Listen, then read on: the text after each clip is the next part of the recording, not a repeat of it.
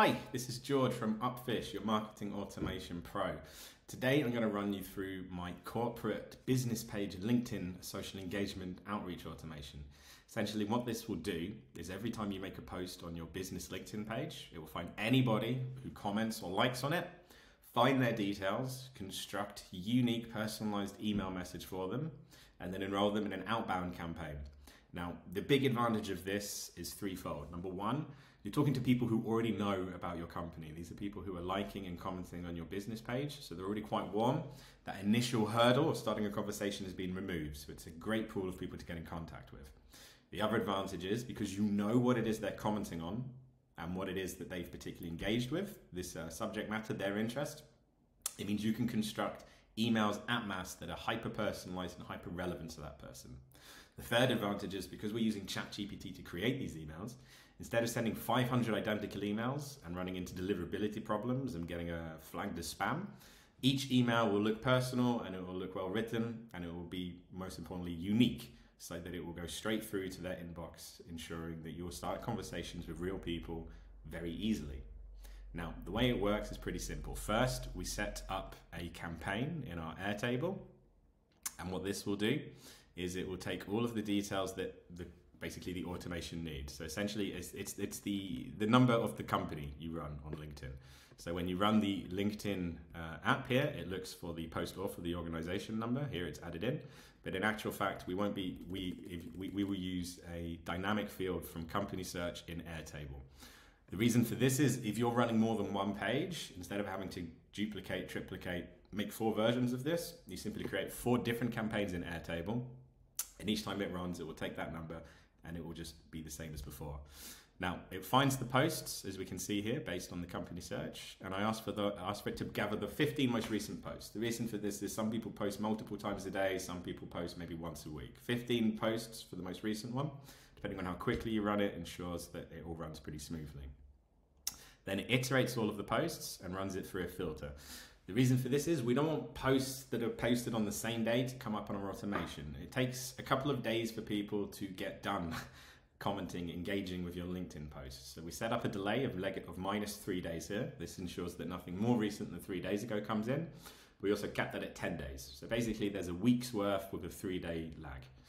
Once these come in, we ask ChatGPT to summarize the post into just seven words. So if you imagine you have a huge, huge, huge post, it will basically just make it short. So when you send an email, it will say something along the lines of, I, you saw my post about NFTs in football, or you saw my post about how to streamline your HR processes, for example. It just makes it a little bit more catchier for an email.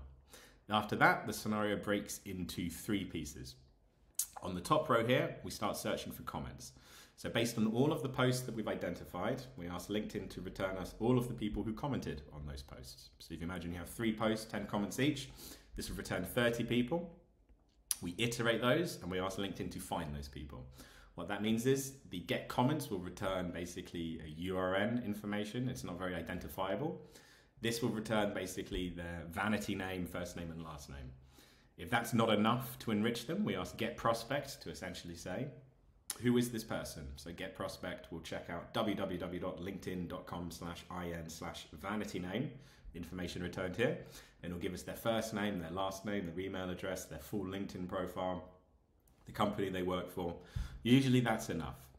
Then we ask Airtable to see, does this person already exist? So we run a filtered search to see in our database here, our cold, warm, hot database, is this person already a prospect? The reason for this is, if you imagine here, you have someone who's enrolled on an outbound campaign. Now they've received a few emails from you, they've checked their website, they've gone onto your LinkedIn, they've liked a post. This person should not receive an automated cold email that introduces your company. You're already talking to them. So it's important you know this stuff, which is why our CRM has dynamic fields here to check has this person been on the website? Have they engaged on LinkedIn? Have they been added to an ad list? Have they had an email sent? Uh, have they had a meeting set? This kind of stuff. If they do already exist, then instead it will send a message through Slack to your sales team to say, hey, uh, George Woodworth from Upfish, he commented on a post, there's already an opportunity, follow this up manually, see what he wants. If they don't exist, and this is when the interesting thing starts happening, we ask Apollo.io to enrich this information further, to give us more information about the person and more information about the company they work for, So we can get things like the industry, the size, uh, their founded year, their LinkedIn page number, all of this stuff. Once we have that, it's pretty easy to ask ChatGPT to um, to create an email. So my example here is I say you are a marketing automation expert and person name. So let's imagine George Woodworth, a CEO from Upfish at www.upfish.co. Engage with your LinkedIn post about um, hiring people in Romania. Based on that info, rewrite this email. So you'll say, Hey George, you're interacting with my post about hiring people in Romania. So I wanted to reach out personally. As the CEO at Upfish, this be willing would this be something you'd be willing to talk about one on one? This is a hyper simple email, but the brilliance of it is you can make it as complex as you want to be. Because we're using the API from ChatGPT, it can access real live web information. So if you've got certain conditions based on their industry of someone works for or the type of product they might be interested in, you can create hyper, hyper, hyper, hyper specific but logical processes here. Once that email's correct, once that email's made, we add the person to Airtable. So if they comment again, we know, okay, this person's commented more than once, more than twice. They visited a website. This is someone who we should follow up with. And then we add the email to Google Sheets. Now, the reason we don't directly send that email to reply.io is because we're relying on ChatGPT to be 100% effective all of the time, which isn't realistic at the moment. So instead, these emails go to Google Sheets, and I'll address why later. Now, the second branch here is pretty much identical. This is for collecting likes. So we'll collect every like from the earlier LinkedIn post. You'll find the people who do it, enrich that information, check the Airtable to see if they already exist, if they don't, enrich more information, construct an email, put them in Airtable, and put them to Google Sheets.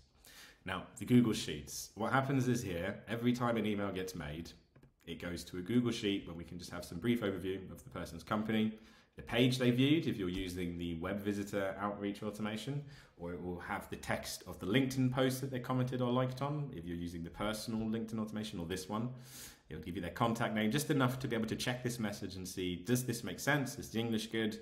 Um, do I need to change anything? If you want to change something pretty simple, um, it only takes a few seconds. So again, big advantage here, instead of constructing manual emails for 100 people at a time, or one email if you find it difficult to write emails, can take a bit of a while.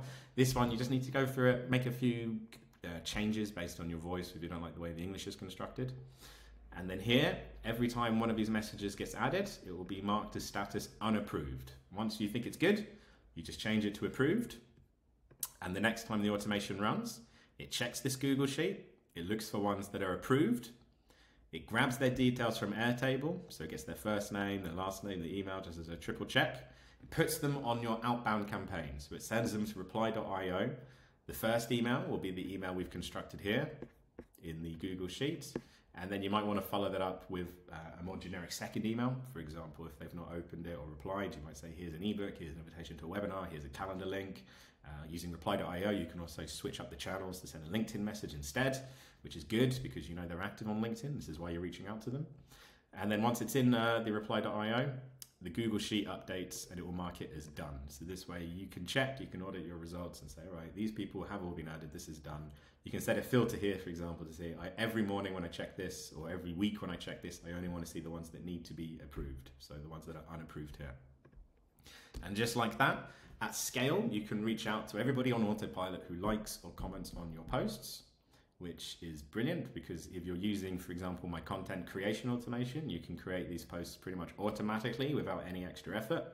The people who comment and post on them, you're then reaching out to them with any effort.